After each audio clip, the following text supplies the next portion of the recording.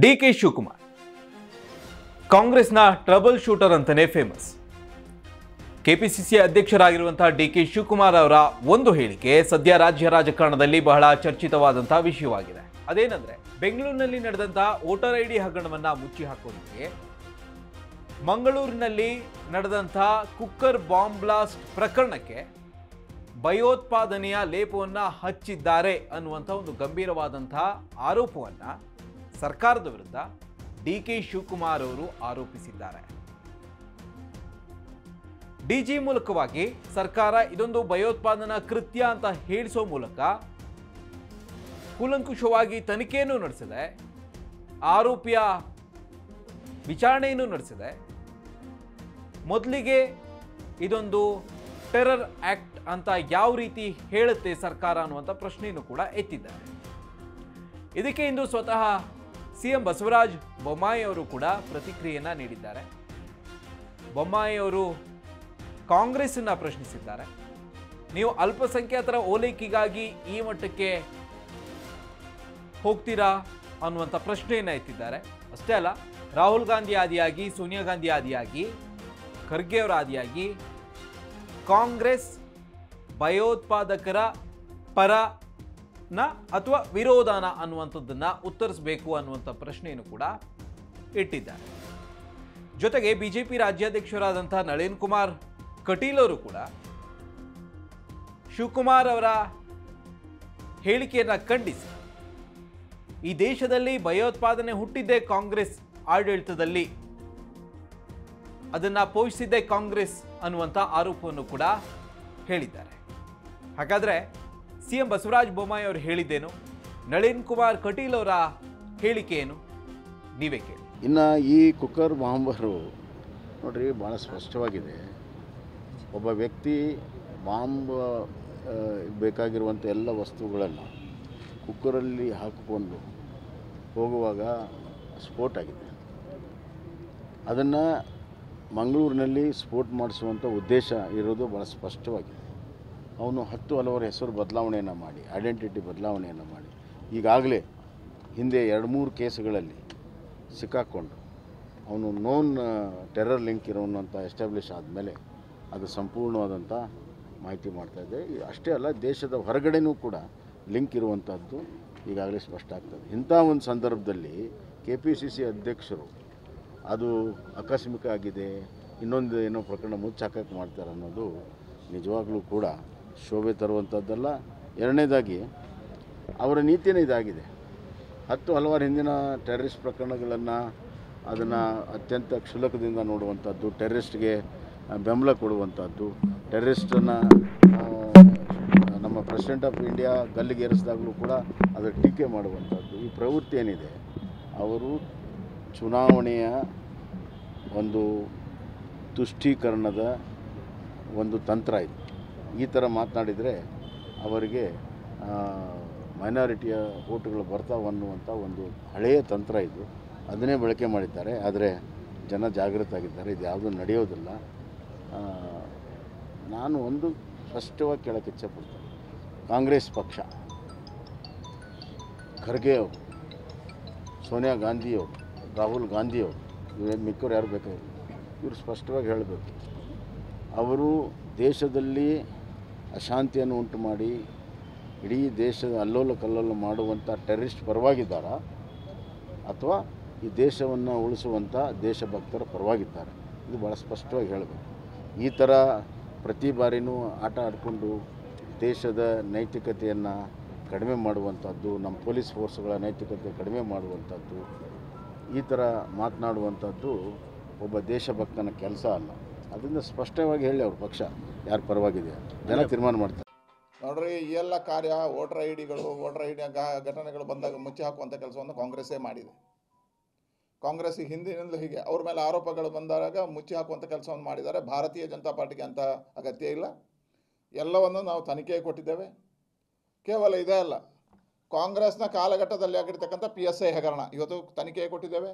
ಅದರಲ್ಲಿರ್ತಕ್ಕಂಥ ದೊಡ್ಡ ದೊಡ್ಡ ಕುಳಗಳನ್ನು ಜೈಲಿಗೆ ಹಾಕಿದ್ದೇವೆ. ಶಿಕ್ಷಕರ ಇದರಲ್ಲಿ ಏನು ಅಪರಾಧಗಳು ನಡೆದಿತ್ತು ಅದನ್ನು ತನಿಖೆಗೆ ಕೊಟ್ಟಿದ್ದೇವೆ. ಭ್ರಷ್ಟಾಚಾರ ಅಂತ ಹೇಳಿರ್ತಕ್ಕಂಥ ಎಲ್ಲ ವಿಷಯಗಳನ್ನು ತನಿಖೆ ಕೊಟ್ಟಿದ್ದೇವೆ. ಇವತ್ತು ವೋಟರ್ ಐ ಡಿಯ ಬಗ್ಗೆ ಹೇಳಿದಾಗಲೂ ಅದನ್ನು ತನಿಖೆಗೆ ಕೊಟ್ಟಿದ್ದೇವೆ. ಹಾಗಾಗಿ ಅದನ್ನು ತಿರುಚುವಂಥ, ಅದನ್ನು ಮುಚ್ಚಿ ಹಾಕುವಂಥ ಯಾವ ಕೆಲಸವನ್ನು ಭಾರತೀಯ ಜನತಾ ಪಾರ್ಟಿ ಮಾಡೋದಿಲ್ಲ, ಅದು ಕಾಂಗ್ರೆಸ್. ಆದರೂ ಇವತ್ತು ನಡೆದಿರ್ತಕ್ಕಂಥ ಘಟನೆ ಏನಿದೆ, ಭಯೋತ್ಪಾದನೆ ಘಟನೆ ಅಂತ ಹೇಳುವಂಥದ್ದನ್ನು ಬಿ ಜೆ ಪಿ ಹೇಳಿರ್ತಕ್ಕಂಥದ್ದಲ್ಲ, ಸರ್ಕಾರ ಹೇಳಿರ್ತಕ್ಕಂಥ ಸರ್ಕಾರ, ಅಧಿಕಾರಿಗಳು, ಉನ್ನತ ಅಧಿಕಾರಿಗಳು ಹೇಳಿರ್ತಕ್ಕಂಥದ್ದು, ಎನ್ ಐ ಎ ಹೇಳಿರ್ತಕ್ಕಂಥದ್ದು. ಎನ್ ಐ ಎ ರಾಜ್ಯದ ಸಂಸ್ಥೆ ಅಲ್ಲ, ಅದು ಕೇಂದ್ರೀಯ ತನಿಖಾ ಸಂಸ್ಥೆ. ಎನ್ ಐ ಅಂತ ಸಂಸ್ಥೆಗಳು ಹೇಳಿದಾಗಲೂ ಇವರು ಇವತ್ತು ಭಯೋತ್ಪಾದನಾ ಚಟುವಟಿಕೆಗಳ ಪರವಾಗಿದ್ದಾರೆ ಅಂತ ಹೇಳಿದ್ರೆ ಇವರ ಮಾನಸಿಕತೆ ವೋಟ್ ಬ್ಯಾಂಕಿಗೆ ಮಾಡ್ತಕ್ಕಂಥ ಇಂಥ ಚಿಲ್ಲರ ರಾಜಕೀಯವನ್ನು ಈ ರಾಜ್ಯದ ಜನ ಸಹಿಸೋದಿಲ್ಲ. D J Halli, K J Halli ಪ್ರಕರಣ ನಡೆದಿತ್ತು. ಆಹಾ ಪ್ರಕರಣ ಕಾಂಗ್ರೆಸ್ಸಿಂದಲೇ ಆಗಿರ್ತಕ್ಕಂಥ ಆಂತರಿಕ ಕಡೆ ಕಾಂಗ್ರೆಸ್ನ ಮಾಜಿ ಮೇಯರ್ ಪಿ ಎಫ್ ಐ ಅವರು ಜೊತೆ ಸೇರಿ ಮಾಡಿರ್ತಕ್ಕಂಥದ್ದು, ಅವ್ರದ್ದೇ ಅಖಂಡ ಇನ್ನೊಂದು ಕಡೆ ಅಖಂಡ ಶ್ರೀನಿವಾಸ ಮೂರ್ತಿ ಮನೆಗೆ ಬೆಂಕಿ ಹಾಕ್ತಾರೆ. ಅದರಲ್ಲೂ ಪಿ ಎಫ್ ಐ ಮತ್ತು ಕಾಂಗ್ರೆಸ್ನ ಮೇಯರ್ ಇರ್ತಾರೆ. ಹೇಳಿದ್ರೆ ಎಲ್ಲ ಕಡೆ ಭಯೋತ್ಪಾದನಾ ಚಟುವಟಿಕೆಯ ಜೊತೆ ಕಾಂಗ್ರೆಸ್ ಒಪ್ಪಂದ ಇದೆ ಅನ್ನುವಂಥದ್ದು ಇದರಲ್ಲಿ ಬಂದಿದೆ. ಹಾಗಾಗಿ ಹೇಳಿದೆ ಇವತ್ತು ಕಾಂಗ್ರೆಸ್ ಭಯೋತ್ಪಾದನಾ ಚಟುವಟಿಕೆ ಪ್ರೇರಣಾ ಕೇಂದ್ರ ಆಗಿದೆ. ಇದರ ಜೊತೆ ಜೊತೆಗೆ ಶ್ರೀರಾಮ ಸೇನೆಯ ಮುಖ್ಯಸ್ಥರಾದಂತಹ ಪ್ರಮೋದ್ ಮುತಾಲಿಕ್ ಅವರು ಕೂಡ ಡಿ ಕೆ ಶಿವಕುಮಾರ್ ಅವರ ಹೇಳಿಕೆಯನ್ನು ಖಂಡಿಸಿದ್ದಾರೆ. ಪ್ರಮೋದ್ ಮುತಾಲಿಕ್ ಅವರ ಪ್ರತಿಕ್ರಿಯೆ ಏನಾಗಿತ್ತು ಅದನ್ನು ಕೂಡ ನೋಡೋಣ. ನಿನ್ನಿನ ಡಿ ಕೆ ಶಿವಕುಮಾರ್ ಅವರ ಹೇಳಿಕೆ ಅತ್ಯಂತ ಖಂಡನೀಯವಾದ್ದು ಶ್ರೀರಾಮ ಸೇನೆ ಸಂಘಟನೆ ನಾವು ಇದನ್ನು ವಿರೋಧ ಮಾಡ್ತಾ ಇದ್ದೀವಿ. ಒಂದು ಟೆರರಿಸ್ಟ್ ಪರವಾಗಿ, ಟೆರರಿಸ್ಟ್ ಪೂರಕವಾಗಿ ಭಯೋತ್ಪಾದನೆ ಪ್ರಚೋದನೆ ಕೊಡುವಂತಹ ಹೇಳಿಕೆ ಕೊಟ್ಟಿದ್ದು ಅಕ್ಷಮ್ಯ ಅಪರಾಧವನ್ನು ಮಾಡಿದ್ದಾರೆ. ಮುಸ್ಲಿಂ ಓಟಿಗೋಸ್ಕರ ಕಾಂಗ್ರೆಸ್ಸು ತುಷ್ಟೀಕರಣ ಮಾಡಿದ ಪರಿಣಾಮ ಇವತ್ತು ಇಡೀ ದೇಶದಲ್ಲಿ ಕಸದ ತೊಟ್ಟಿಯಲ್ಲಿ ಬಿದ್ದಿದೆ. ಆದರೂ ಬುದ್ಧಿ ಬಂದಿಲ್ಲ ಇವರು. ಒಬ್ಬ ರಾಜ್ಯದ ಕಾಂಗ್ರೆಸ್ಸಿನ ಅಧ್ಯಕ್ಷರಾಗಿ ಬೇಜವಾಬ್ದಾರಿ ಹೇಳಿಕೆಯನ್ನು ಕೊಡ್ತಾ ಇರುವಂಥದ್ದು ಟೆರರಿಸ್ಟನ್ನ ಪುಲ್ವಾಮಾ ಆಗಿದೆಯಾ ಅಂತ ಕೇಳುವಂಥದ್ದು ಮುಂಬೈ ಬ್ಲಾಸ್ಟ್ ಆಗಿದೆಯಾ ಆ ರೀತಿ ಕೇಳುವಂಥದ್ದು ಸರಿಯಲ್ಲ. ಹಾಗಾದರೆ ಸಾವು ನೋವು ಆಗಬೇಕಾಗಿತ್ತ? ಸಾವಿರ, ನೂರಾರು ಜನ ಸಾವು ನೋವು ಆಗಬೇಕಾಗಿತ್ತ? ರಕ್ತ ಹರಿಬೇಕಾಗಿತ್ತ? ಹೆಣಗಳು ಬೀಳ್ಬೇಕಾಗಿತ್ತ? ಪೊಲೀಸ್ ಡಿಪಾರ್ಟ್ಮೆಂಟ್ ಹಿಡಿದಿದ್ದು ಅತ್ಯಂತ ಸ್ತುತ್ಯಾರ್ಹವಾಗಿ ನಾನು ಹೇಳ್ತಾ ಇದ್ದೀನಿ.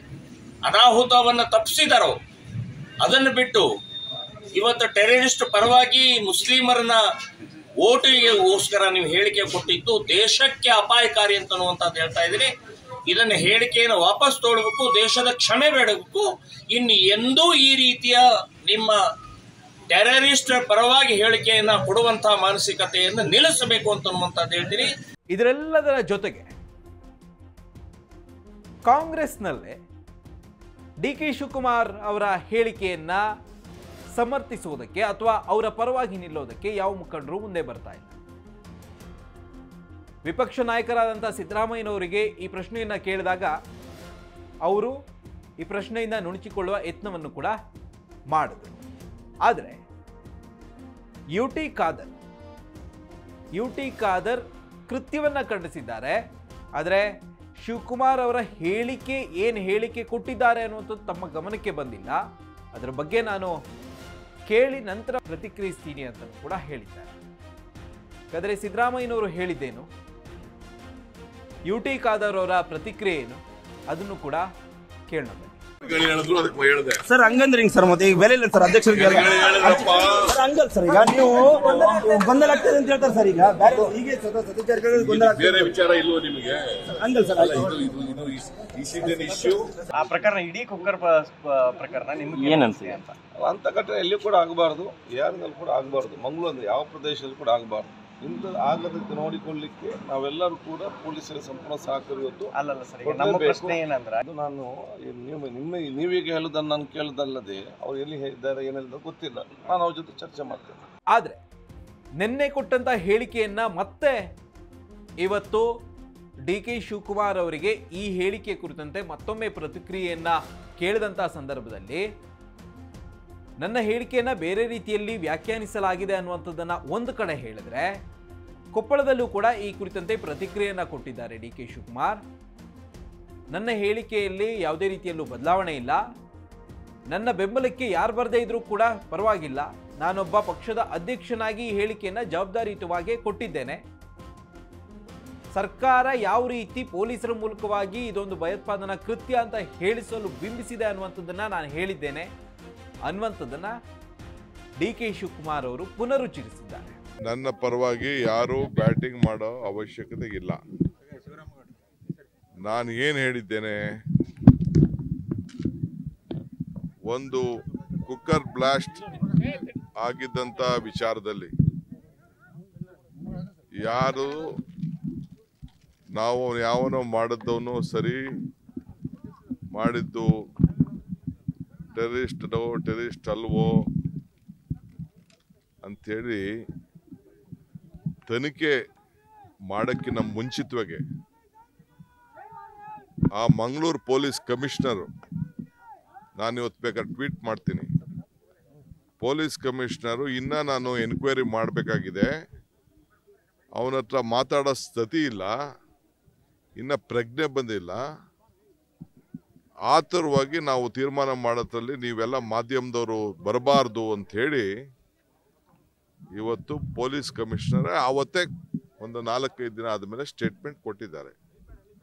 ಅದಕ್ಕಿಂತ ಮುಂಚಿತವಾಗೇನೆ ಡಿ ಜಿ ಅವರು, ಡಿ ಜಿ ಅವ್ರ ಮುಖಾಂತರ ಈ ಬಿ ಜೆ ಪಿಯವರು ಅವರ ಓಟ್ ಕಳ್ತನನ ಮುಚ್ಕೊಳ್ಳಿಕ್ಕೆ ಏನು ಮಂಗಳೂರು ಮಲ್ಲ ಆ ಕಡೆ ಎಲ್ಲ ಏನು ಇನ್ವೆಸ್ಟರ್ಸ್ ಯಾರು ಹೋಗದೆ ಅದಕ್ಕೆ ಏನು ಈ ಭ್ರಷ್ಟಾಚಾರಗಳನ್ನ ಮುಚ್ಕೊಳ್ಳಿಕ್ಕೆ? ನಾವೇನು ಬಯಲ್ಗೆಡ್ದಿದ್ವಲ್ಲ? ಅದನ್ನ ಮುಚ್ಚಲಿಕ್ಕೆ ಇಮಿಡಿಯೇಟ್ ಡಿವೇಟ್ ಮಾಡಕ್ ಹೊರಟ್ರು ಅಂತ ನಾನು ಹೇಳಿದ್ದೇನೆ. ನೀವು ಡಿ ಮಂಗಳೂರು ಏನು ಪೊಲೀಸ್ ಕಮಿಷನರ್ ಏನು ಹೇಳಿಕೆ ಕೊಟ್ಟಿದಾರಲ್ಲ ಈಗ ಟ್ವೀಟ್ ಮಾಡ್ತೀನಿ ಇನ್ನೊಂದು ಅರ್ಧ ಗಂಟೆಯಲ್ಲಿ. ಸರ್ ಇದು ನಿಮಗೆ ಗೊತ್ತಿಲ್ಲ ನಿಮ್ಮ ನಾಯಕರಿಗೆ ಗೊತ್ತಿಲ್ವಾ? ಯಾರಿಗೆ? ಪೊಲೀಸ್ ಸಿ- ನೀವು ಹೇಳ್ತಾ ಸರ್ ಅವ್ರಿಗೆ ಗೊತ್ತಿಲ್ವಾ? ಮತ್ತೆ ಇದ್ರ ಬಗ್ಗೆ ಗೊತ್ತಿಲ್ಲ ನೋಡಿಲ್ಲ ಅಂತಾರಲ್ಲ ನಿಮ್ಮ ನಾಯಕರು ನೋಡಪ್ಪ. ಸಮರ್ಥನೆ ಮಾಡ್ಕೊಳ್ತಾ ಇಲ್ಲ ಅವರು ನನ್ಗೇನು ಯಾರು ಬೇಕಾಗಿಲ್ಲ ರೀ?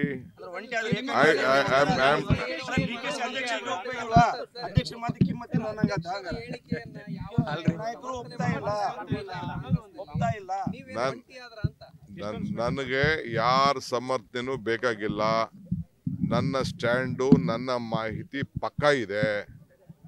ನಾನು ಒಬ್ಬ ಪಕ್ಷದ ಅಧ್ಯಕ್ಷರಾಗಿ ನಾನು ಏನು ಹೇಳ್ತಾ ಇದ್ದೀನಿ ಅಂತಂದರೆ ಬಿ ಜೆ ಪಿಯವರು ತನ್ನ ತಪ್ಪುಗಳನ್ನು ಮುಚ್ಕೊಳ್ಳಿಕ್ಕೆ ಒಂದು ದೊಡ್ಡ ಪ್ರಯತ್ನವನ್ನು ಮಾಡಿದ್ರು, ಡಿವೇಟ್ ಮಾಡಿದ್ರು ಅಂತ ಹೇಳಿದ್ದೇನೆ. ಅನೇಕ ಇಂಥ ಒಂದೇ ಅಲ್ಲ, ಬೇಕಾದಷ್ಟು ಘಟ್ಟಗಳನ್ನ ಮುಚ್ಚಿದ್ದಾರೆ. ಈ ಎಲ್ಲ ಬೆಳವಣಿಗೆಗಳನ್ನ ನೋಡ್ತಾ ಇದ್ರೆ ಚುನಾವಣಾ ಸಂದರ್ಭದಲ್ಲಿ ಈ ರೀತಿಯ ಹೇಳಿಕೆಗಳು ಇಷ್ಟರ ಮಟ್ಟಿಗೆ ಇಂಪ್ಯಾಕ್ಟ್ ಆಗುತ್ತೆ ಅನ್ನುವಂಥದ್ದನ್ನು ಕೂಡ ಗಮನಿಸಬೇಕಾಗುತ್ತೆ, ಯಾವುದೇ ಪಕ್ಷ ಆದರೂ ಕೂಡ.